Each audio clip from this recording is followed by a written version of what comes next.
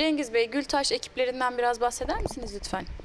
Merhaba, ben Cengiz Öztürk. Gültaş Granit Mermer İşletme Müdürüyüm. Ee, Şirketin